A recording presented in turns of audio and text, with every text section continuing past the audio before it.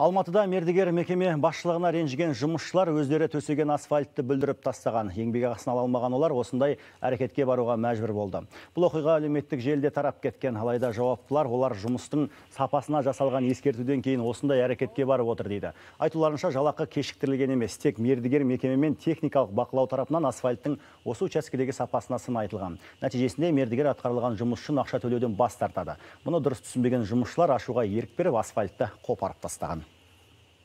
Не үшін бұзып жатсыңдар соны салып жібер дейді ақшасын бермей жатыр ма По остальным работам асфальттың басқа бөлігі үшін жұмысшылар еңбек ақыларын алған. Оны растайтын қолхат бар. Бүлінген жерді олар қайда қалыпқа келтірген жоқ. Мердігер мекеме осы үшін шығынды өтеп алу мақсатында жұмысшылардың еңбек ақысынан қателеспесем 40 мың теңге ұстап қалды. Жалпы бүлінген асфальт ауданы 10 шаршы метр.